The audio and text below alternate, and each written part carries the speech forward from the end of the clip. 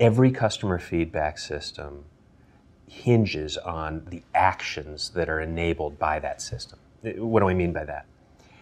If you ask customers for feedback and you take no action, you might as well not have asked them. In the Net Promoter System, we think about action in two different ways. There's what we call inner loop actions.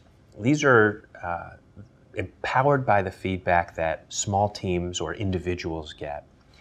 And they involve getting the feedback from a customer, learning what is really going on with that customer, maybe doing a follow up call with that customer, and resolving that customer's issue in the moment.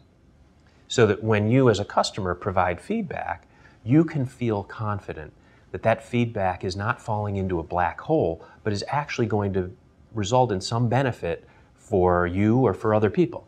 The other way we think about it is what we call the outer loop. The outer loop are systemic improvements, and they are actions that result from understanding patterns and issues that run across the entire business. They tend to be things that can't be resolved by individuals or by teams, and therefore require a project or initiative, a cost benefit analysis, the allocation of resources. They could be things like pricing, policies, people decisions, the uh, the design of a product.